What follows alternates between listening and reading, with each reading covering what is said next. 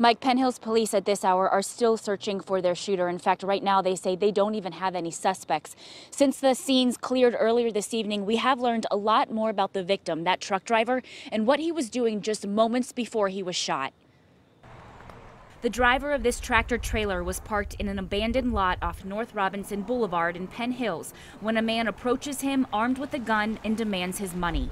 Police say the driver was sitting behind the wheel when the suspect shot through the window. The victim has a superficial wound from the bullet glancing his head. The armed robbery and shooting prompted a SWAT call in East Hills, less than a mile from this scene. A few minutes later, we were told that a possible suspect from the shooting uh, came over into the East Hills community, which is in Zone 5, and uh, potentially barricaded themselves into uh, one of the houses here on Bracey Drive. Police and SWAT surrounded the home, and two people inside were taken for questioning, but investigators have determined neither one is connected to the shooting. Now they're looking at surveillance video, speaking to witnesses, and talking to the truck driver.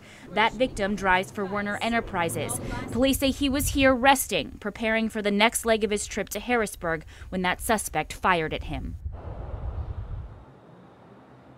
Now, according to the Penn Hills police chief, that victim is in an area hospital with non life threatening injuries. And again, their search continues on for that suspect. Reporting live tonight outside of the Penn Hills police station, I'm Kelly Brennan, Pittsburgh's Action News.